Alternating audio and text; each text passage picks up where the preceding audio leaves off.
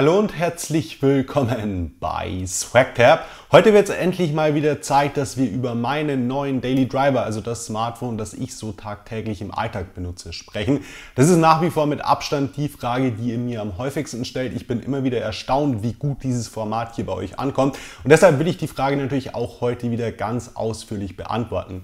Die letzte Ausgabe dieses Formats ging, glaube ich, Ende Dezember 2018 online. Seitdem ist natürlich über ein halbes Jahr vergangen. In der Zeit sind sehr, sehr viele gute Smartphones auf den Markt gekommen. Viele davon davon liegen jetzt auch vor mir und ich habe mich jetzt endlich für eins entschieden. Ich werde euch wie immer erstmal erzählen, welche Geräte überhaupt zur Auswahl standen und dann nach und nach erklären, wieso ich mich für Gerät X und nicht für eins der anderen entschieden habe. Also ich wünsche euch jetzt viel Spaß beim Zuschauen und würde sagen, los geht's!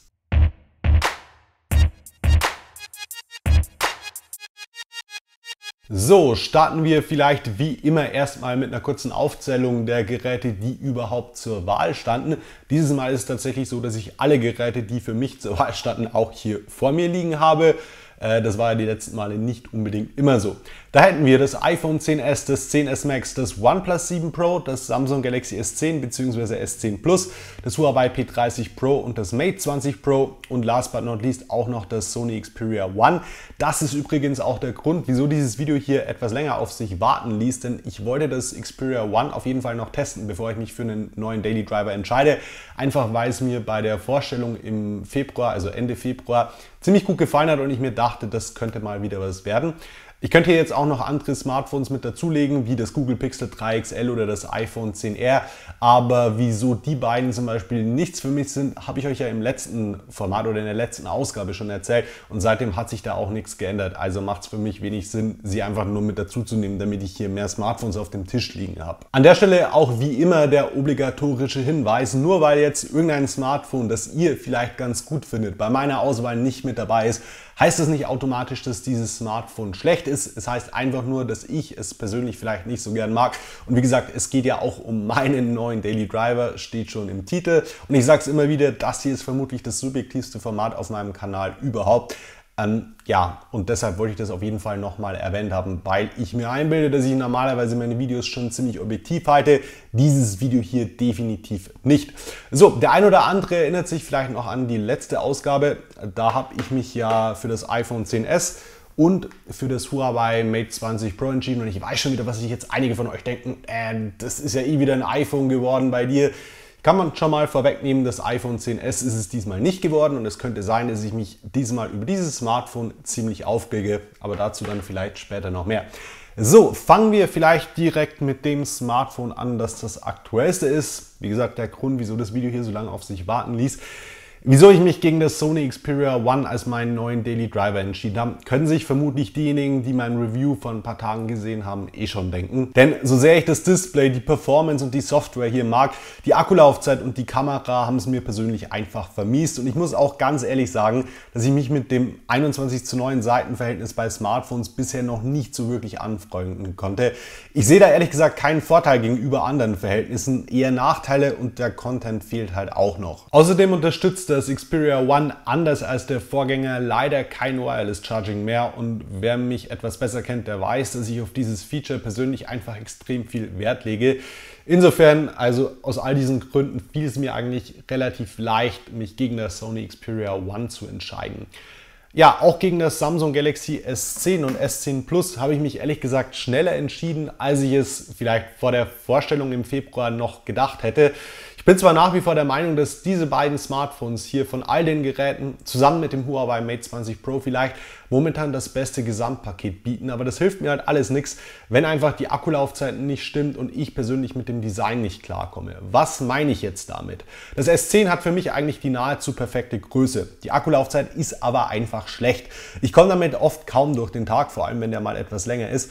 Der Standby-Verbrauch ist einfach nach wie vor viel zu hoch, trotz diverser Updates. Und ich bin mir mittlerweile ziemlich sicher, dass das einfach am Prozessor liegt, habe ich ja in meinem Langzeittest auch schon erklärt. Beim S10 Plus ist es dann so, dass die Akkulaufzeit aufgrund des größeren Akkus natürlich etwas besser ist, aber auch nicht wirklich zufriedenstellend, wenn man bedenkt, wie gut sie bei diesem großen Akku sein könnte. Dazu kommt hier, dass das Gerät einfach aufgrund der Größe natürlich etwas unhandlicher ist und ich nach wie vor mit der Platzierung dieses Power-Buttons nicht klarkomme. Ich habe es versucht, ich habe es im Langzeittest erklärt, ich habe es wirklich wochenlang versucht, aber wenn man einfach weiß, wie gut das eigentlich, also diese Platzierung des Power-Buttons bei jedem anderen Hersteller gelöst ist, also jetzt mal abgesehen von Google, dann willst du das im Alltag nicht nutzen. Ich kann das auch ehrlich gesagt nicht nachvollziehen, wenn mir Leute tatsächlich erklären, sie finden das super, sie finden diese Lösung perfekt. Das liegt meiner Meinung nach einfach daran, dass man halt ähm, nicht gesehen hat, wie gut das oder noch nicht gespürt hat, wie gut das bei den anderen Herstellern ist. Aber gut, das schiebe ich jetzt mal auf Geschmackssache. Ich komme damit halt einfach überhaupt nicht klar muss auch ganz ehrlich sagen, dass ich mir von der Kamera mehr erhofft hätte, aber mit der Kamera hätte ich klarkommen können. Also die Kamera ist wirklich bei allen Geräten, die hier liegen, auf einem sehr, sehr hohen Niveau. Jetzt vielleicht mit kleinen Abstrichen beim Xperia One, aber wie gesagt, an der Kamera hätte es nicht gescheitert. Trotzdem muss ich auch sagen, haben die beiden hier, also das S10 und das S10 Plus, super Displays. Sie sind super hochwertig, haben eine hervorragende Videoqualität und vieles, vieles mehr, was man gut finden kann und muss. Und durch die gesunkenen Preise dürften sie für viele eigentlich genau die richtige richtige Wahl sein. Aber bei den für mich mit wichtigsten Punkten schwächeln die beiden halt leider etwas und deshalb ist es für mich weder das S10 noch das S10 Plus geworden. Ich bin mal gespannt, ob sich das mit dem Galaxy Note 10 ändern wird. Das soll ja auch die, oder das wird die nächsten Tage vorgestellt werden. Bin gespannt, was die da machen. Also ich finde die Idee ganz cool, dass es dieses Jahr auch zwei Notes geben wird. Aber ich bin da ehrlich gesagt skeptisch, einfach weil ich nie wirklich ein Note-Guy war. Aber schauen wir mal. Ich hoffe einfach, dass sie da die Akkulaufzeit wieder in den Griff bekommen, denn beim Note 9 war die ja richtig gut. So, als nächstes habe ich mich dann tatsächlich gegen die beiden iPhones entschieden. Also gegen das iPhone 10s und gegen das iPhone 10s Max. Ja, nach über eineinhalb Jahren eigentlich mehr oder weniger durchgängig mit einem iPhone als Daily Driver, habe ich mich jetzt endlich wieder dazu entschieden, mehr oder weniger zumindest beim Smartphone komplett zurück zu Android zu wechseln. Ich fand es übrigens lustig, dass der ein oder andere mich als iPhone-Fanboy bezeichnet hat, vor allem in den Vergleichen, die ich ja immer wieder hochlade, also zum Beispiel jetzt mit dem Galaxy S10 Plus. Ich glaube, ich habe auch mit dem Huawei Mate 20 Pro einen gemacht und so weiter. Also mich als iPhone-Fanboy zu bezeichnen, derjenige, der zwischen dem iPhone 4S und dem iPhone 10 durchgängig Android-Smartphones benutzt hat, fand ich dann doch schon ziemlich lustig, aber so läuft es halt einfach. Ich meine, ich kann mich noch erinnern, als ich die erste Ausgabe dieses Formats hier hochgeladen habe, da habe ich mich, glaube ich, für das Samsung Galaxy S8 Plus entschieden, nachdem vorher das Galaxy S7 Edge lange mein Daily Driver war. Wieder vorher das Galaxy S6 Edge da musste ich mir halt von einigen anhören, ich sei ein Samsung-Fanboy. Ich glaube, das würde jetzt auch nach diesem Video hier keiner mehr sagen. Was ich damit sagen will, ich bin halt einfach Fan von guten Smartphones, von den meiner Meinung nach besten Smartphones. Und ich bin nicht irgendwie Fan von irgendeinem Hersteller. Für mich gewinnt immer das Gerät, was für mich persönlich halt das Beste ist. Und ich glaube, wer mich schon etwas länger verfolgt, der weiß, dass das nicht so dahingesagt ist. Also, dass das wirklich meistens so ist. Wieso habe ich mich jetzt aber gegen mein geliebtes iPhone 10s entschieden, nachdem ich ja im Dezember echt noch so davon geschwärmt habe? Vor allem ja auch vom Vorgänger, also vom iPhone 10, aber da hat sich ja nicht viel getan. Es ist kurz und knapp, ich glaube, viele können sich schon denken, einfach die Akkulaufzeit. Ich meine, die war ja nie besonders gut. Der Akku ist hier nicht besonders groß, einfach. Aber in den letzten Monaten konnte man wirklich zusehen, wie die Akkulaufzeit zumindest bei mir immer schlechter wurde.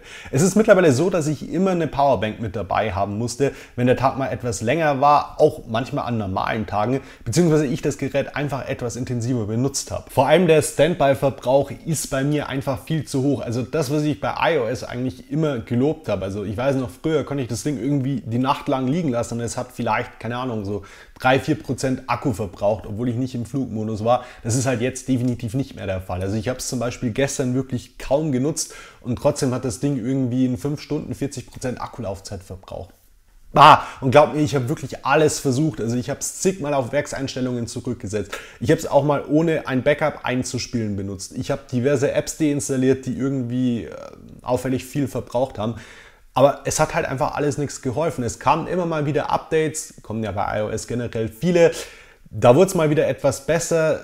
Momentan ist es einfach mit der aktuellen Software aber echt brutal schlecht und ich glaube mittlerweile einfach, dass es das halt einfach an dem Akku liegt. Das Ding ist ja jetzt auch schon fast ein Jahr alt. Ich lade es sehr, sehr oft, weil wie gesagt der Akku nicht gut ist, der Akku wird schlechter.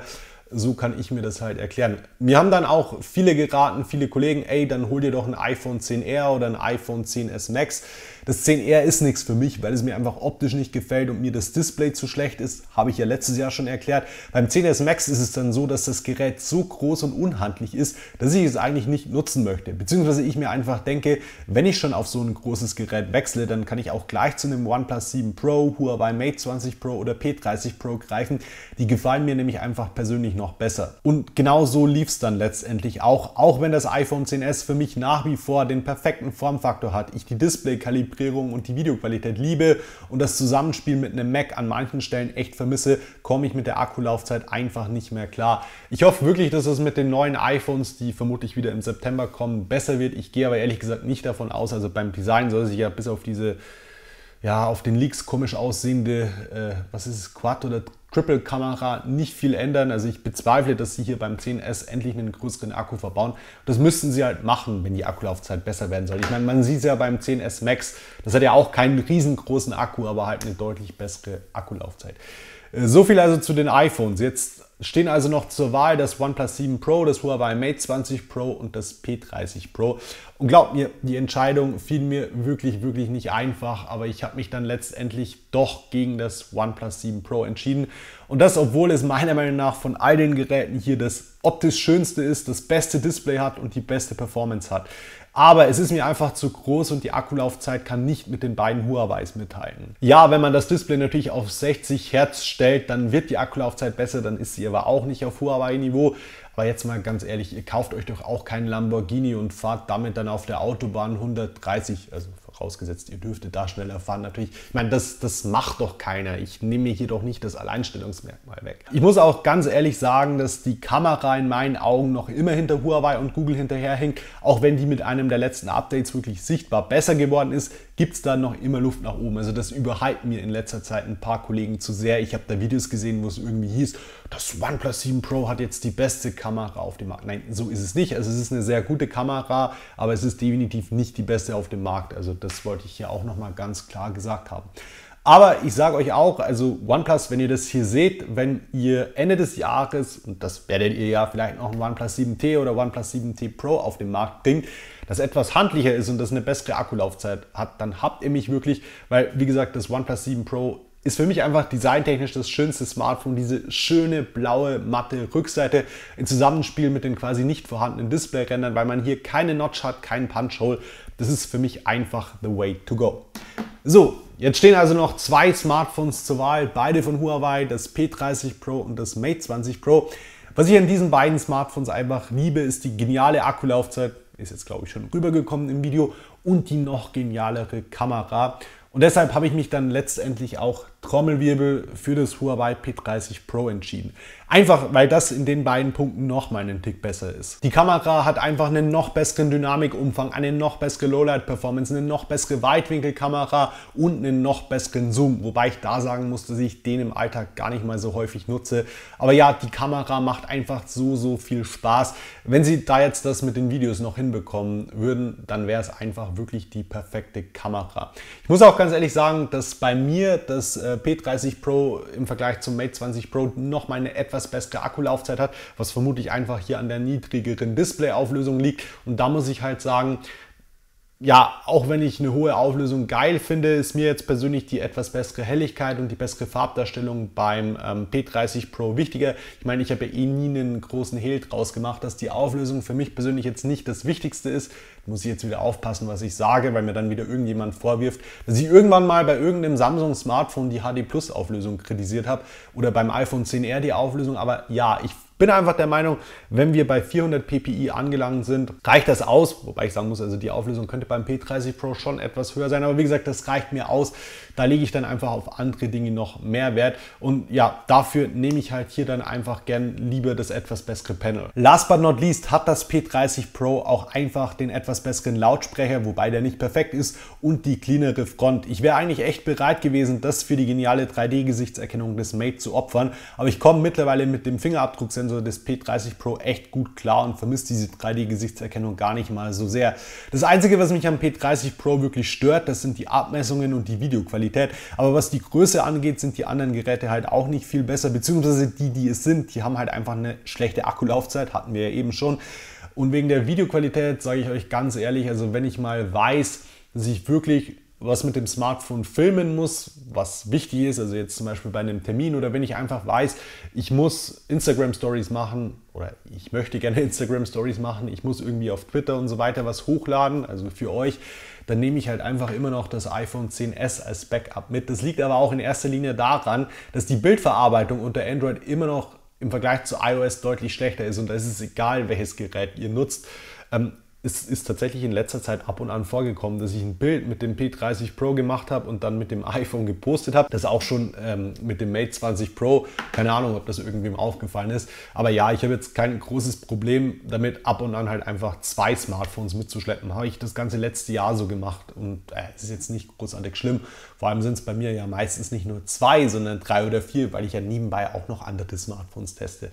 Ja, aber wie gesagt, also damit habe ich kein Problem. Für mich persönlich bietet dieses Gerät hier momentan einfach das beste Gesamtpaket, also das P30 Pro. Und wie gesagt, gerade in Sachen Fotokamera und Akkulaufzeit ist es in meinen Augen momentan das beste Gerät auf dem Markt und auch sonst hat es eigentlich kaum größere Schwächen. Wireless Charging ist mit dabei und das Fast Charging ist einfach nur genial. Es ist schneller als beim iPhone 10s, selbst wenn ich das mit dem iPad-Netzteil auflade und das, obwohl das P30 Pro hier einen mehr als doppelt so großen Akku hat. Also das ist für mich einfach nur nur komplett krank. Und wie gesagt, in letzter Zeit war es einfach sehr, sehr oft so, dass ich eben nur das P30 Pro mit dabei hatte und damit eigentlich sehr, sehr glücklich war. Und das ist für mich immer so das beste Zeichen.